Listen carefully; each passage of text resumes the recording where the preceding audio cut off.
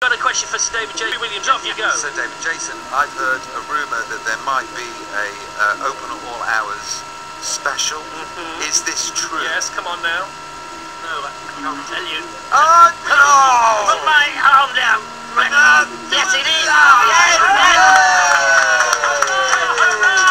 And, and have you filmed it? No. No, okay. All right, okay. Would you want to be in it?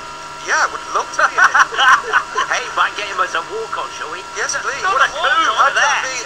Be, I'd be an extra. I'd do could come, he could come into the shop. He could be the Yes, new I'm gonna tell my producer. Okay.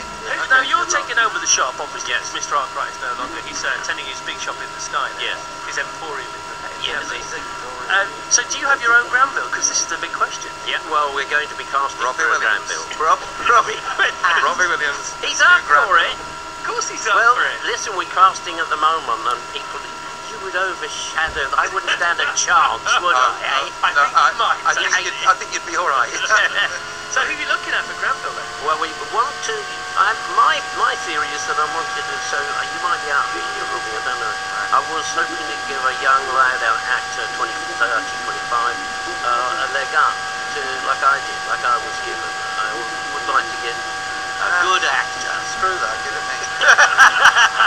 Well, at least he's All right. Yeah, the thing about Open All is it was quite sporadic, wasn't it? It was 1975, then 79, then Yeah. 81, then 85. Why, why did that happen?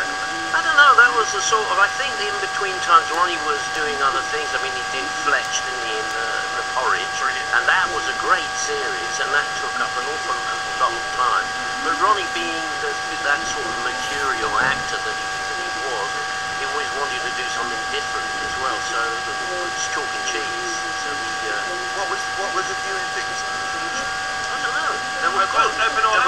because to do with 50s, 60s. Well, because there was there was three channels, and because there was that much concentrated Yeah. energy on you, Yeah. did the, how did that affect your private? Um, well, strange enough, I, it didn't. I was under the radar because Ronnie was the one that got. He was the big name. He was the star, and I was sort of unknown. I was just a lad, if you like. So no, did that change with uh, Well, yeah, totally. Uh, that was it. Then um, the front man, which was uh, Derek Trotter.